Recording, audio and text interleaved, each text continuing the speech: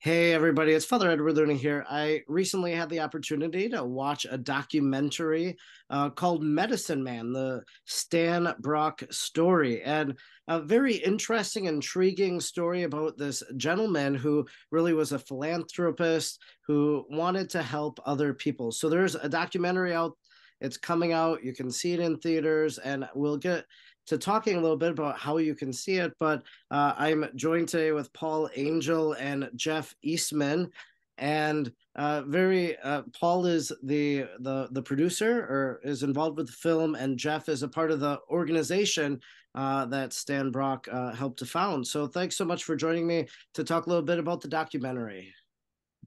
Having and uh, maybe just first, you know, I, am curious, Paul, because, you know, I've made a documentary myself. So you obviously have some sort of interest when you decide that you want to commit to, to a documentary, filming it, writing the script, uh, all that it entails. So uh, how did you come across the story of Stan Brock? Well, um, I, I I'm from Britain, where we have a national healthcare system and the situation in the US has always intrigued me because it's so far from the reality that we experience here. I, I couldn't imagine um, my healthcare outcomes being tied to my wealth, which is essentially, or, or at least my um, job situation, which is essentially what is happening in the United States. So I was always interested in in that topic. Um, and then one day I read the Sunday Times in the UK, and there was an article about Stan, and it and it said that um, this British-born um, Amazonian cowboy had become a U.S. wildlife TV star, and then given up everything, uh, took effectively took a vow of poverty, um, and started running health clinics all across the U.S and the article sort of posed the question well who who is this guy and why is he motivated to do this? And, and you know why is he here in the united states? And the article never really resolved those questions. Um, so i was intrigued by stan but i also wanted to explore the issue of why so many people struggle to access um, healthcare services in the united states. And i just thought stan would be the perfect way into that because he's got this very personal and emotional story about why he's there. Um, so I decided to pick up the phone and call his office, and much to my surprise, Stan himself answered the phone um, that that that day, and this was a Sunday, right? Um, and he's in the office burning the midnight oil, getting the work done and that's when I realized he he truly was uh, a unique, special person, and he'd be absolutely ideal for a feature length documentary. Yeah, you know what you said there about uh, just your healthcare being connected to your wealth or your job or whatever you know that's something that i realized because uh, a few years ago kind of simple story like i had this infected tooth had to get pulled so, but first, you know, got the root canal, then that went bad. So then, then it was pulled. But it's like, here I am. You know, I went to an emergency appointment with my dentist. They took me in. Then they got me an emergency referral to the endodontist or whatever. And you know, two thousand dollars later, they took care of me. And I'm like, you know, there are a lot of people in the world who have have these pains, have these ailments, and they can't readily have them taken care of as I did on that Friday morning uh, by going from doctor to doctor. And, you know, that was one of the things that Medicine Man really brought out this documentary that, uh, you know, you saw some of these people in the dental chair because these clinics weren't just dentistry, but they were also health. There, there were a lot of different things going on. So Stan Brock founded this this organization, and so maybe Jeff, could you share a little bit about kind of the the mission of Stan Brock and the organization that you uh, work with? It's really simple to boil down. Stan wanted to bring free healthcare to those in need. People often often wonder, well, remote area medical. What do you mean by remote? Well, you can live next door to a hospital, a doctor's office, and you're remote from healthcare. So it's he laid the foundation for it, and we just continue on with, with his mission uh, free health care to those in need, coast to coast, border to border.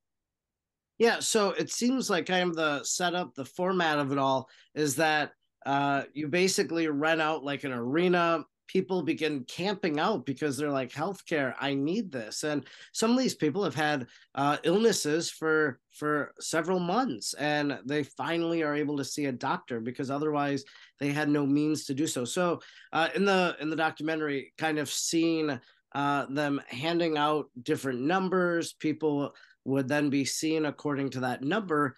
But then I guess you know you see some people are getting turned away. There's there's so many people not enough doctors to help. So what's it like for you as an organization when you have to turn people away that have come seeking help? That's the hardest part about my job. It's it's great to bring those volunteers together those to greet those people six in the morning who've been there all night long waiting in a parking lot uh, on a sleeping mat or in their car.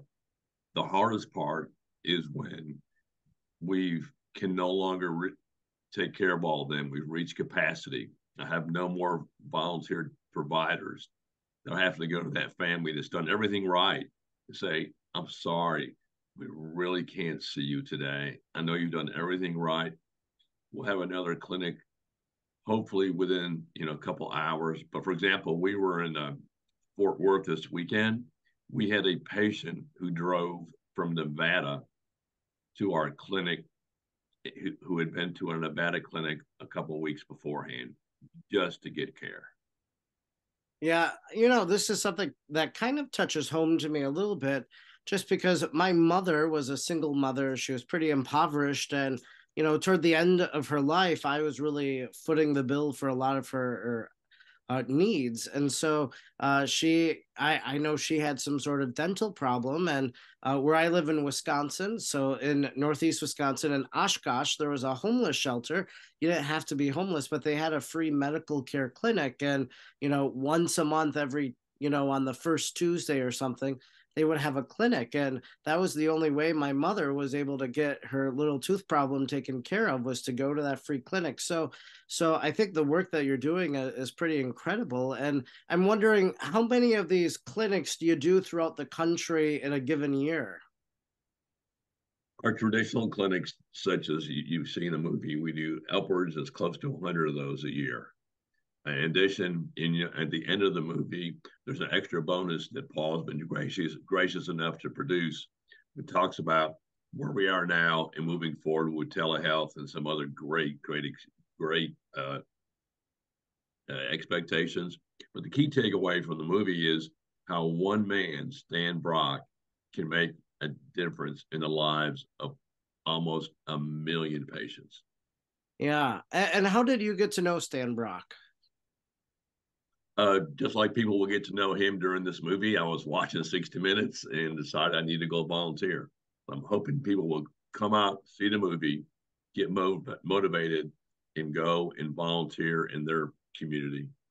And what are some ways that people could help your organization? So, uh, and, tell us the name of your organization again. But uh, how can they get involved? Can they give money? if somebody out there is a doctor and you're coming to their stake, can they volunteer their services?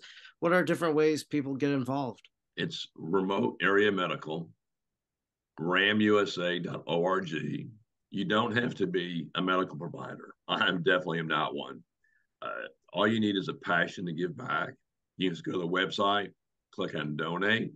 If you can't come out to a clinic, if you can make that journey, come visit us. We are go coast to coast. Just click on the volunteer button to really learn about the organization. Make sure you come out on the 14th and buy a ticket and see the movie. And uh, tell me, so it's called Medicine Man. It's the story of Stan Brock. Why did he get that name? Simply because he brought medicine to so many people? Because uh, you know I live at like uh, right by uh, a Native American reservation, and so you know uh, my secretary actually saw my calendar medicine man interview, and she's like, "Look at you getting all involved in the culture," you know. And uh, obviously, I said, "No, no, it's a, it's a documentary, a story about a man that brought medicine to people." So, but how did he come to earn that nickname? That's a that's a Paul Angell question right there. Well, um, it's not really an official uh, title, but um, certainly when Stan was um, living on um, the savannas of Guyana um, and um, living amongst the indigenous Wapishana people, he was for many the only access to uh, healthcare um, and very rudimentary healthcare he would provide to to those around him. I think he started off in veterinary um, care and then gradually learned a little bit about being able to help um, people with ailments there. So I think he was known on the Rupununi savannah as your only chance if you had uh, healthcare issues. Yeah, so it's interesting how that follows them all follows him all throughout his life then from from that moment to then you know this career of of helping people uh, in so many different ways. So tell me a little bit about the filmmaking process behind this. Obviously you mentioned earlier that you contacted uh, stan. He answered the phone actually. You spoke with him directly. Uh, but then, how did the whole documentary project unfold? And you know, I it's my understanding Stan died uh, a few years ago, so obviously he won't see this project uh, to its end. But uh, yeah, what was that like? Uh, the process for you? It unfolded slowly, uh, to put it in a word. I didn't have grey hair when I started making this film. but if I rewind to those early days, first of all, I had to convince Stan to even make a film that focused on him. Uh, he's a very modest guy. Um, he he's a man of deeds and not words primarily. Um, so that took some convincing. And then when we worked together, I had to earn his um, respect um, before he would open up to me and talk about um, his personal feelings and his motivation and the challenges that he'd experienced and some of the difficulties he, he, would faced and you know the tough times in life that made him the man he was but by going to see him every year over a, a six year period um, i think i did ultimately earn earn that um, right and to be honest that that's the same when you make a documentary about anybody, you don't just have the right to turn up with your camera, shove it in somebody's face, and expect them just to like pour their heart out. There's always um, a certain process of um, earning earning your uh, corn, as it were. So it, Stan was no more difficult, I have to say, um, it, to get to know as a person than anybody else I'd I'd ever worked with, and, and that's because you know, just beneath a, a kind of old school um, British stiff upper lip exterior, uh, there's an inc- incredibly compassionate heart that beats within this man. Um, his, his focus, his total devotion uh, to the cause, um, is really exceptional. I mean, when when Stan started uh, remote area medical in 1985, he sacrificed everything he had. He he sold the plot of land that he owned. He sold his car. He sold some other possessions. Um, and I mean, even arguably, the relationship with his wife uh, was sacrificed because she wasn't willing to live um, that kind of ascetic lifestyle where everything would be focused on um, delivering the healthcare that he did. And, you know, Stan, from the age of 45, Stan spent his time sleeping on the office floor. He, he didn't have um, a home. And you're probably wondering, well, how could he survive? So the city of Knoxville um, rented this uh, dilapidated schoolhouse to him as a, as the office uh, with a peppercorn rent of like a dollar a year, and he uh, survived by uh, eating rice, beans, and water, and the rice and beans would be um, brought round to him by friends. So basically, what Stan did was he stripped away all of the distractions in life that allowed him just to focus on this one issue. And I think that is truly remarkable, um, especially in the modern world. It's, I think it's very, very hard to do. And, and one of the reasons I think people connect with this film is that um, we all, I think, at times when things are challenging, we all have this fantasy that um, we could strip things away and just focus on what really matters in life. But we can't do it because we have mortgages, we have children, we have we need to make uh, make money, and so on. You know, um, but Stan had the resolve um, and the good fortune as well uh, to be able to do that. And I think that's what makes him a, a truly unique American humanitarian. So this is coming to the theaters uh, next week on Tuesday, and uh, is this part of the Fathom event releases, or how how is this being distributed to the theaters?